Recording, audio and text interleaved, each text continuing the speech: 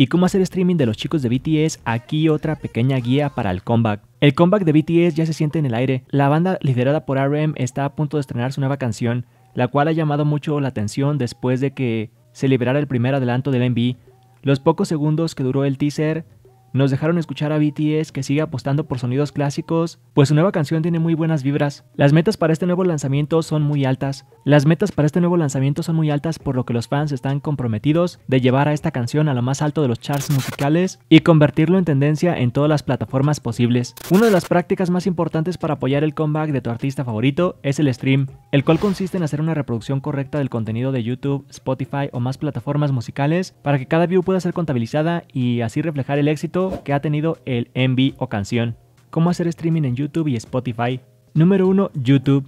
Entra a YouTube desde tu computadora, celular o tablet o incluso desde tu Smart TV. 2. Desactiva la reproducción automática. 3. Busca manualmente el video ejemplo BTS, MV, Dynamite o Butter. 4. Haz clic en el video oficial de Butter en el canal de Hype Labels. 5. Mira el video desde el inicio hasta el final sin pausarlo.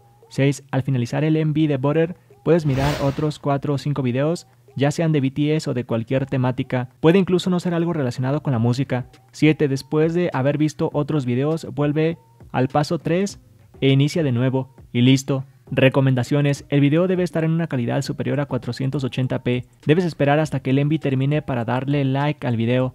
Puedes reproducir el MV de Butter desde varios dispositivos al mismo tiempo, usando diferentes cuentas. Recuerda no ser spam en la caja de los comentarios. Si ves comentarios negativos o que no son de tu agrado, no los tomes en cuenta, no te enganches, comparte el envío en tus redes sociales para darle más difusión y apoyar a los chicos, evita silenciar el video, pausarlo, adelantarlo, repetirlo inmediatamente y usar el modo incógnito. 2. Stream de la canción Butter de BTS en Spotify.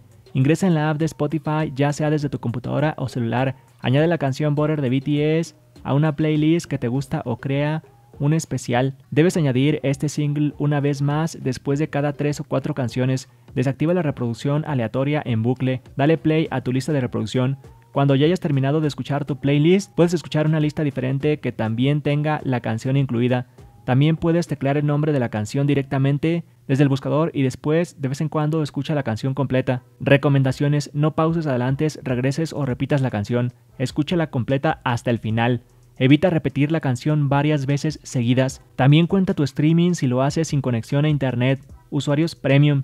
Solo debes asegurarte de conectarte lo más pronto que puedas para que aún sea válido. Evita silenciar la aplicación y escuchar Border siempre con un volumen mayor al 50%.